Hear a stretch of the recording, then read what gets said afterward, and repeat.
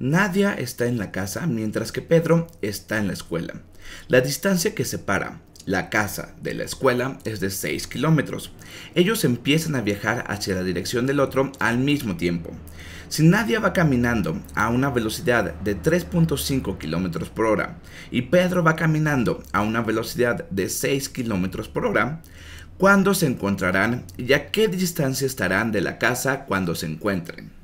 Y bueno, vamos a suponer que aquí tenemos a Nadia, aquí tenemos a Pedro, la distancia entre la casa y la escuela son 6 kilómetros y van en dirección el uno al otro. Por lo tanto, Nadia va a una velocidad de 3.5 kilómetros por hora, kilómetros, déjame ponerlo más grande, kilómetros por hora, mientras que Pedro va a una velocidad de 6 kilómetros por hora. 6 kilómetros por hora y bueno, va hacia acá. Ahora, date cuenta que ellos se van a intersectar en algún punto, por lo tanto, vamos a poner al punto donde se van a intersectar justo por aquí. Voy a decir que aquí se van a intersectar y bueno, date cuenta que como Pedro va más rápido, va a recorrer más distancia de lo que va a recorrer Nadia, por lo tanto se van a intersectar en este punto.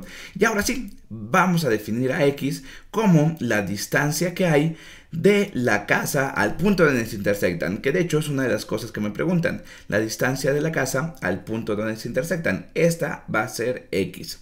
Y bueno, ¿Cómo puedo saber la otra distancia, la distancia que recorre Pedro? Para no hacernos más bolas y meter una nueva variable, voy a decir que esto es 6 menos x. Perfecto. Aquí ya tengo que la distancia que recorre Nadia es x, mientras que la distancia que recorre Pedro es 6 menos x. Es decir, 6 kilómetros menos la distancia que recorre Nadia. Ahora bien, para resolver este problema, lo que voy a usar es una fórmula que ya hemos visto varias veces y está muy metida en nuestros videos de física. Esta fórmula dice que la distancia es igual a la velocidad por el tiempo o la distancia es igual a la rapidez por el tiempo. Si utilizo esta fórmula para Nadia, me va a quedar que x es igual a 3.5 por t. La distancia que recorre Nadia es x, la velocidad a la que va Nadia es 3.5 km por hora y el tiempo es t. Bien, ahora hagamos lo mismo para Pedro.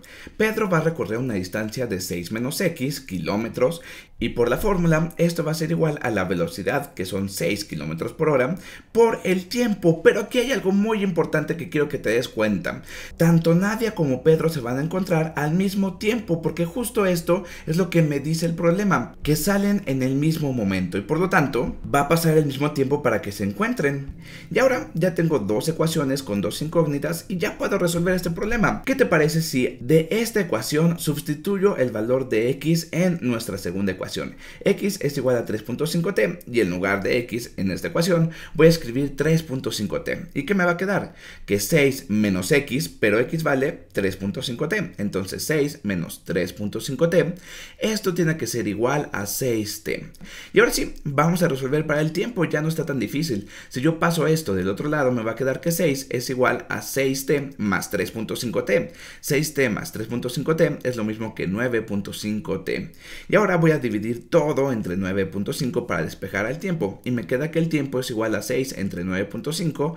Pero bueno, 9.5 lo puedo ver como un quebrado. Esto es lo mismo que 19 medios.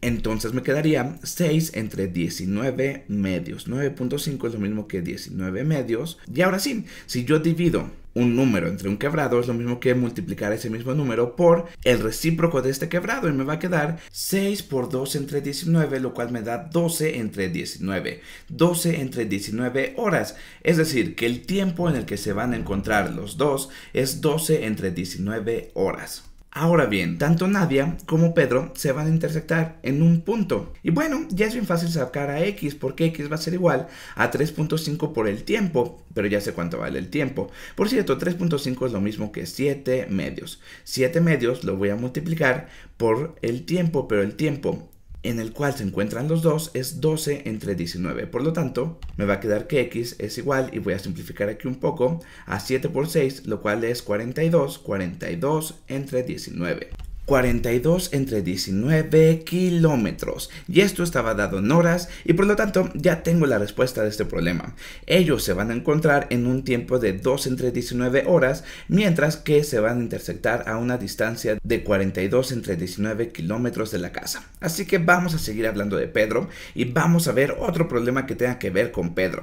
Pedro compró algunas de sus libretas para clases en el supermercado a un precio de 2.25 pesos cada una y otras de sus libretas las compró en una papelería a un precio de 2 pesos cada una. Si en total se gastó en ambos lugares la misma cantidad de dinero y compró 17 libretas en total, ¿cuántas libretas compró Pedro en cada lugar?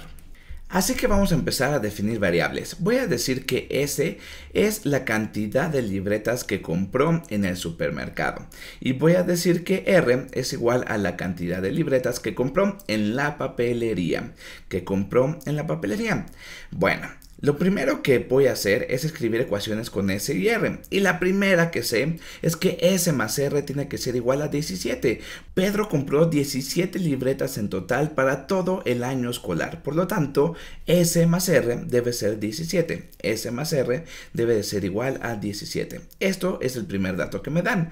Y bueno, ya está escrito en una ecuación. Ahora, también me dan el dato de que Pedro gastó la misma cantidad de dinero en ambos lugares. Es decir, la cantidad de dinero que gastó en el supermercado al comprar las libretas es exactamente igual que la cantidad de dinero que gastó en la papelería al comprar las libretas. Eso lo puedo poner de la siguiente manera. Como hablo de que tienen la misma cantidad de dinero, pues entonces me quedaría que la cantidad de libretas que compró en el supermercado por el precio que costaba cada una de las libretas, es decir, 2.25 por la cantidad de libretas que compró en el supermercado, es decir, ese, esto es lo que se gastó en el supermercado, esto me dicen que es exactamente igual a la cantidad de dinero que se gastó en las libretas que compró en la papelería. Es decir, voy a multiplicar la cantidad de libretas que compró en la papelería por el precio que gastó en la papelería, que son 2 pesos, por lo tanto me quedaría 2 por R. Esto es lo que se gastó en la papelería al comprar sus libretas. Muy bien, entonces tengo que 2.25S es igual a 2R y ya está bien fácil resolver este problema porque entonces puedo sustituir ya sea S o a R en mi primera ecuación. Y para esto voy a despejar a una de estas dos variables. Creo que es más fácil despejar a R. Por lo tanto, de esta ecuación de aquí abajo voy a despejar a R para sustituirla en el valor de arriba. Entonces, para despejar a R lo que tengo que hacer es dividir 2.25 entre 2. Me va a quedar que 2.25 entre 2 por S, esto tiene que ser igual a R. Muy bien, y ya con este valor de R, ahora lo que voy a hacer es sustituir el valor de R en mi primera ecuación. Es decir, voy a meter este valor aquí.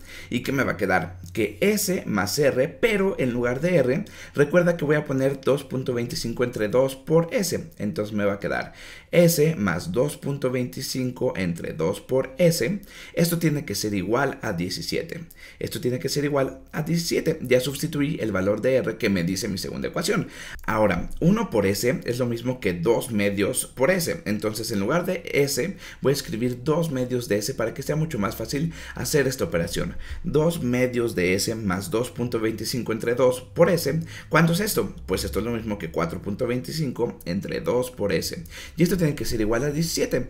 Y ahora sí, despejando de aquí a S, ¿qué me va a quedar? Para esto lo que voy a hacer es pasar a este quebrado, a esta fracción del otro lado multiplicándola por su recíproco, es decir, 2 entre 4.25, de tal manera que del lado izquierdo todo esto se va y me queda solamente que S es igual a 17 por 2, lo cual es 34, entre 4.25. Y habrá que hacer esta operación. Bueno, para no hacer toda la división, lo que voy a hacer es ver a 4.25 como 4 enteros un cuarto. 4.25 es 4 enteros un cuarto, que esto es exactamente lo mismo que 4 por 4 es 16 más 1, 17 cuartos.